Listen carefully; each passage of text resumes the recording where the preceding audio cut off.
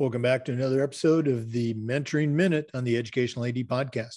We'll be right back with Dan Comeau in this week's Mentoring Minute. But first, let's hear from our podcast sponsors.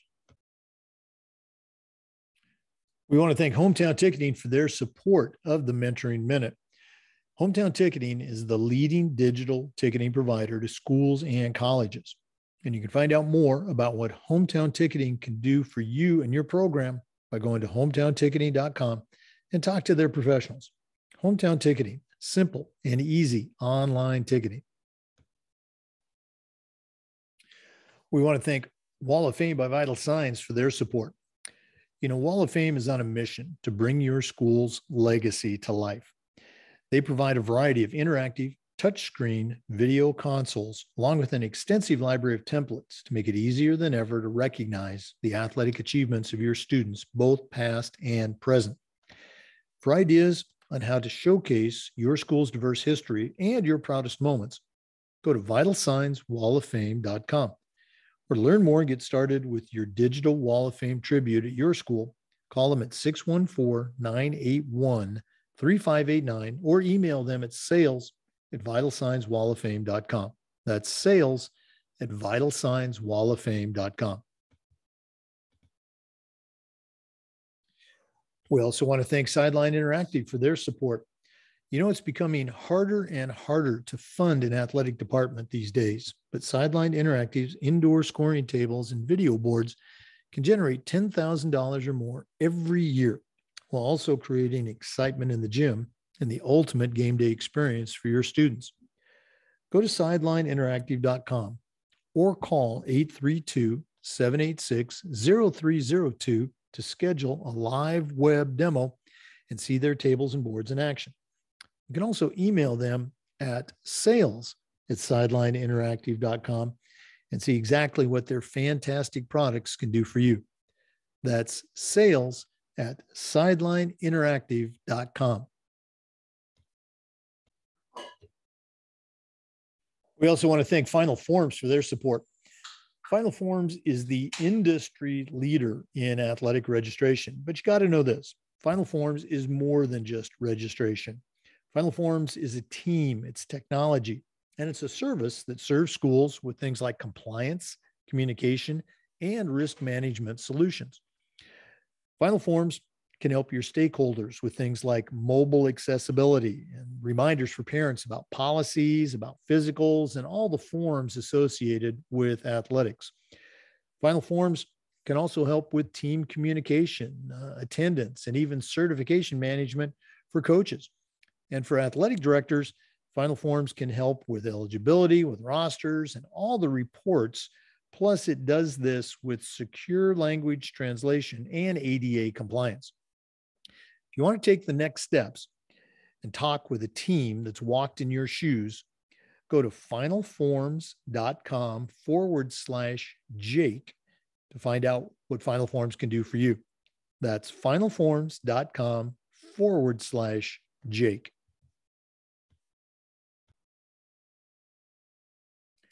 Welcome back, everyone, to another episode of the Mentoring Minute with Dan Comeau. Dan is a certified master athletic administrator.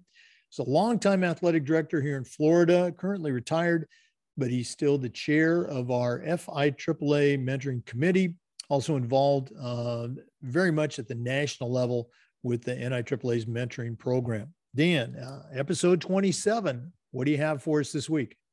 Well, it's the, the uh, end of the year is coming on us quickly. And uh, today I want to talk about something that creeps up on athletic directors um, as the summer comes on, and it's summer schedules throughout your uh, facilities.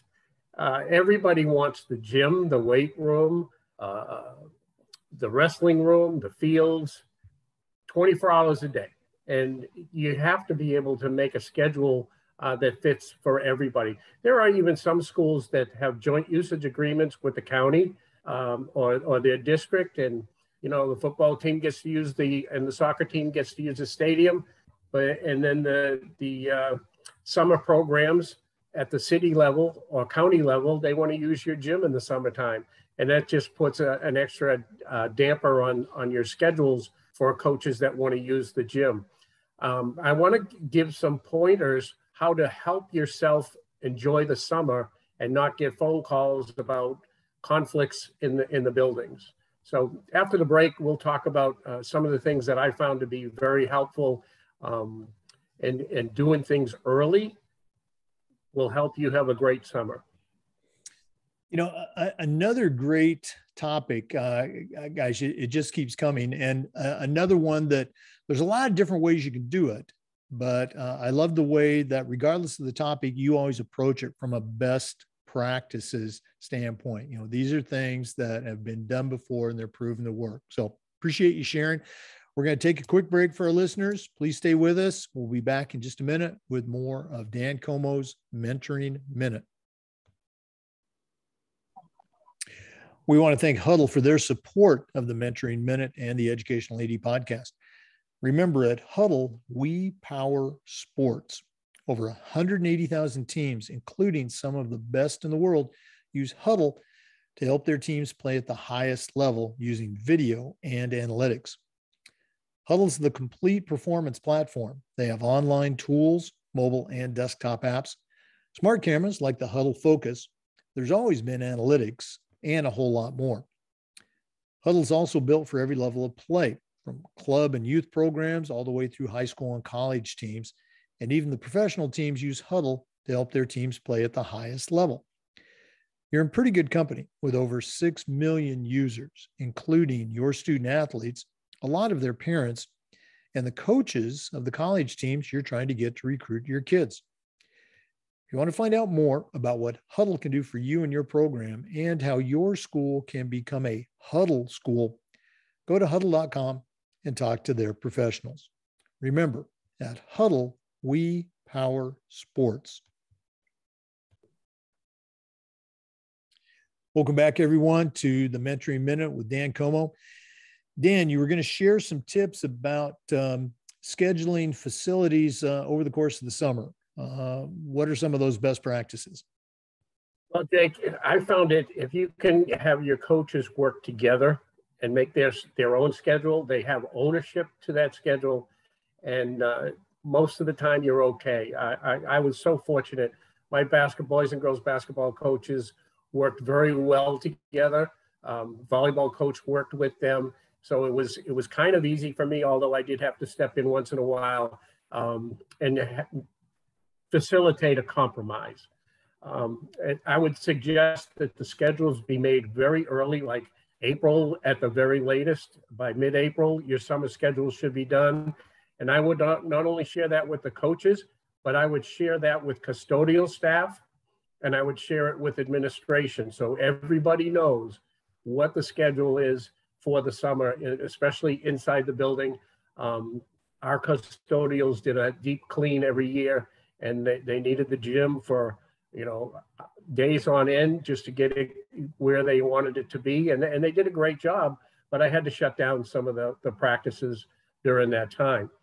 Um, as an athletic director, I would post it that what the practices are on the school website and maybe the local newspaper.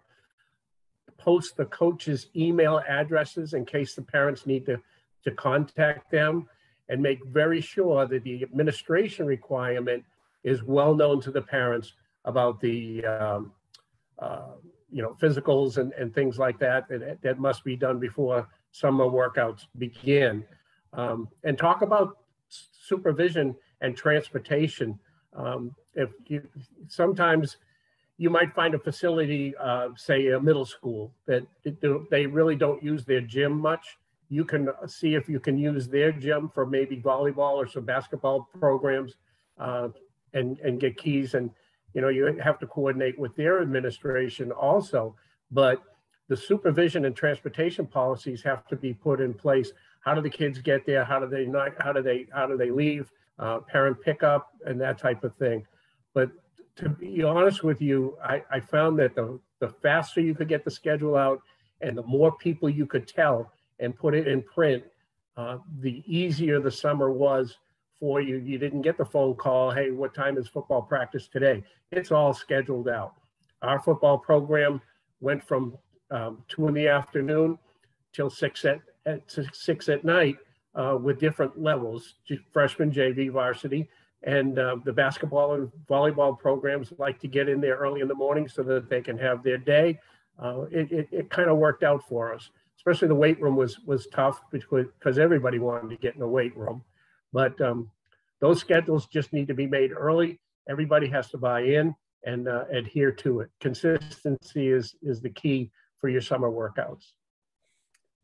Yeah, you bring up uh, the point of having the coaches involved in that process, and you know, rather than you saying, you know, this is your time and your time, you know, they have some input, and you know, you you have you can avoid having to go back and change things that you might have put into place. Um, having spent most of my career in Florida at private schools, I had bosses that had different philosophies. I had one boss, and it, it wasn't right, wrong, good or bad. It was just what it was. Um, we didn't uh, allow hardly anyone in our facilities that wasn't, you know, um, a, a, school team, and they looked at it from um, a liability standpoint. They looked at it as, you know, if I let this team in or this group, this club, I got to let somebody else in. Didn't want to offend parents. Um, and then I had another boss, um, you know, at our school up in Tallahassee, Maclay. Um, we had a, a, procedure in place to schedule our own teams and community teams and looked at it as a great way to bring families and kids on campus and show them what we have. Uh, and, you know, with open enrollment these days, at least in Florida, you know, it was a great you know free commercial or paid commercial because they're paying for those experiences to come on board so uh, a lot of different ways to do things but you know to your point scheduling in advance is the key for our listeners um, if uh, or dan if one of our listeners wanted to reach out and pick your brain uh, contact you uh, what's the best way that they can get in touch they can get in touch with me uh, through email, dcomeau19 at comcast.net. Okay. And again, for our listeners, uh, all of these episodes of the Mentoring Minute, you can access them on the Educational AD Podcast YouTube channel. Uh, we appreciate you coming in and listening today. Come back again next time for another episode of the Mentoring Minute and just about every day for new content on the Educational AD Podcast. Have a great day. We'll see you next time. Again, we want to thank all of our sponsors for their support of the Mentoring Minute on the Educational AD podcast. Wall of Fame by Vital Signs, Athletic Surveys by Lifetrack, Final Forms, Athletic Registration, Sideline Interactive, Indoor Scoring Tables and Video Boards, Violet Defense, Ultraviolet Light uh, Facilities, um, Disinfecting, Hudl, and hometown ticketing. Thanks to all of our sponsors for their support of the Mentoring Minute and the Educational AD podcast.